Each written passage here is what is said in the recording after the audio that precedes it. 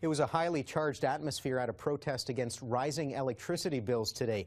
Dozens of protesters rallied against Hydro One's price hike. They're saying on many occasions it's forced them to choose between feeding their families or paying their hydro bills.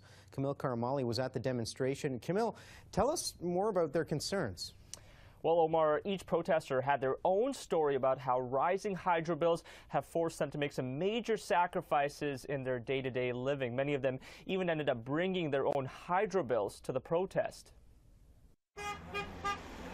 Plenty of signs, speakers, and signatures. Dozens of people signed their name on a petition outside Ontario Energy Minister Bob Chiarelli's office, where protesters were voicing their opposition against spiking hydro rates. We need to stick up for all of you. Jeanette Koznaski says she's seen her monthly electricity bill shoot up in recent years. Now she's left with some tough decisions. I want my kids to be able to have sports to go to, and, and I'll be able to afford that for them and have have things that they want, that, and I want to be able to pay for that for them, and I can't. And she's not alone. Hydro One customers in rural parts of eastern Ontario are fed up with the soaring prices.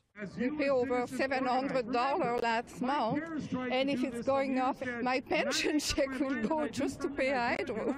People also brought their hydro bills along with them to swap stories. When your bill doubles to like a mortgage amount, it's fairly insane. Protesters are fighting for a reduction in delivery charges. They also want regulatory charges and the HST removed and better management of smart meters to make sure they don't get overcharged. How did we know that they're being they're being reading properly? How do we know that they're transmitting, uh, transmitting properly? We don't know that. Nobody verifies that. The group also says it was shocked to learn this week that 60 percent of Hydro One will be sold. Critics have warned the move will drive up electricity prices. I'd like them to stop privatization altogether, put a stop to that, kick it in the butt right now, get it out the door.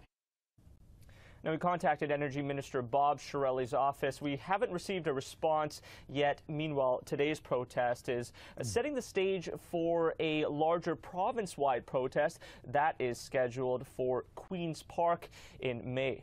Omar. Thanks for that, Kamil. We'll be sure to keep an eye on that. You're welcome.